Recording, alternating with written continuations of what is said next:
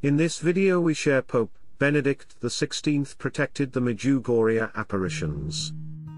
What were Pope Benedict XVI's actions to prevent her enemies from destroying Medjugorje from within the Church? Pope Benedict XVI was perhaps the greatest Catholic theologian of the 20th century and perhaps one day he will be named a Doctor of the Church. But few know that he significantly accompanied the Medjugorje phenomenon from the beginning, although in a hidden way. In the same year of 1981, when the apparitions began, he was appointed prefect of the Congregation for the Doctrine of Faith by Pope John Paul II. And for more than three decades he was the preponderant figure, to mold the treatment that the Church would give to these apparitions, safeguarding them so that they would follow their course. Here we will talk about how Pope Benedict XVI actively protected the apparitions of Medjugorje in a covert way, so that his influence was not aborted by the ecclesiastical hierarchy. Joseph Ratzinger came from Bavaria, a region known for its Marian devotion. And during the pontificate of Pope John Paul II he gave the theological interpretation of the Marian phenomenon, which Pope John Paul II would later express with emotional gestures. He emphasized the importance of Mary and her role in the life of Jesus and the faith of the Church. Without Mary, there is no Jesus. And he said that Marian dogmas are the guarantee that Jesus is God and also a true man. I would say that Mary is the link between the Old and New Testaments. That is figure, image and model of the Church that in it femininity shines in all its fullness and also the meaning of human life. And he points out our destiny through the dogma of his assumption to heaven. He admitted to the journalist Vittorio Messori that he read The Third Secret of Fatima, after the attack on Pope John Paul II on May 13, 1981. This was just before the beginning of Our Lady's Medjugorje appearances.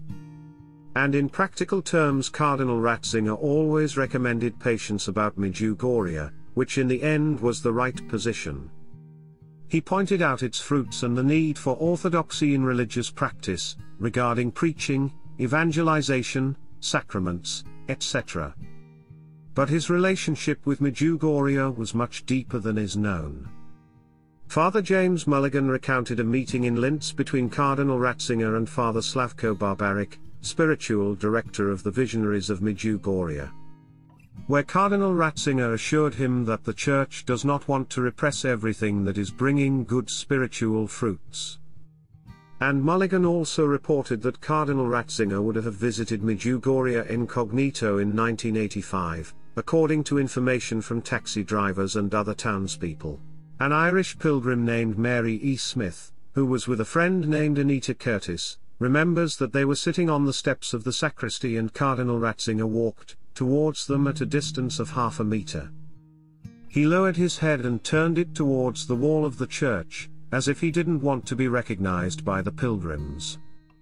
He was dressed in civilian clothes, white shirt with short sleeves open at the collar and light grey pants. There are reports of three visits.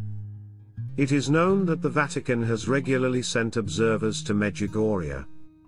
And Monsignor Edmund Farhat, a former apostolic nuncio in Austria, said that he had spoken to Ratzinger when he was already Benedict XVI, in 2009, about his pilgrimage to Medjugorje, and said that the Pope was delighted. But the most significant contribution of Pope Benedict XVI may have been the protection he gave to Medjugorje, so that she would not be condemned by the bishopric of Mostar, and thus run the risk of getting lost in history, as has happened to so many Marian apparitions. And he always did it with a low profile and reflective, as was his characteristic. In 1982, the local bishop, Monsignor Pavao Žanić, created a commission to study the apparitions of Medjugorje. According to Father Tomislav Pervan, provincial of the Franciscans of Herzegovina, in his book Medjugorje, A Prophetic Sign for the World, he says that Bishop Žanić moderated the work of the commission and worked to obtain a negative verdict on Medjugorje. He was influenced by the dossier that the communists of the former Yugoslavia had made, to discredit the apparitions. The result of the commission was that its supernaturalness was not recorded but that it was simply a human phenomenon. He gave Cardinal Ratzinger the result and expressly asked him to ban everything around Medjugorje, saying that everything was just fraud, superstition and popular deception. He also demanded a ban on pilgrimages. Ratzinger studied the documentation carefully, and did not accept the committee's vote. And he asked for the opinion of the Yugoslav Episcopal Conference and Cardinal Kuharić of Zagreb. They convened a new commission, whose members went to Medjugorje precisely when Father Pervan was a local pastor. The conclusion was also that his supernaturalness is not recorded, but he added that the large number of pilgrims and believers who attend require urgent pastoral attention and concrete concern on the part of the pastors. And that the bishops are obliged to develop appropriate liturgical pastoral orientations. This was the so-called Zadar Declaration of 1991. But it has transpired that Cardinal Ratzinger was also dissatisfied with the work and judgment of this commission. While in Mostar he took over as Bishop Ratko Perić in 1992 and went a step further. From the beginning, the new bishop campaigned that Medjugorje is not supernatural, and ignored the Zadar declaration regarding pastoral care. He did everything possible to shed a bad light on the visionaries of Medjugorje, and the whole phenomenon worldwide.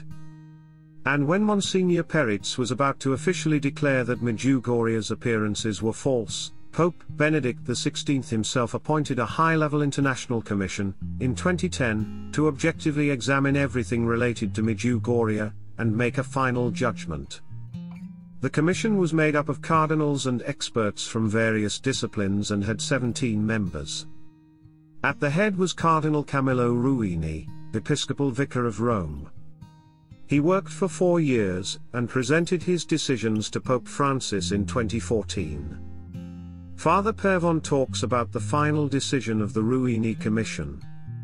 The Commission focused on studying the first days of the apparitions, because then the persecutions caused them to take place in less controlled and safe environments to open an opinion.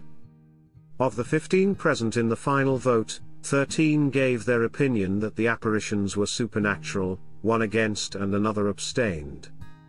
Therefore, the International Commission considered verbatim that the beginnings of the Medjugorje phenomenon cannot be reduced only to human dynamics, but have a supernatural origin.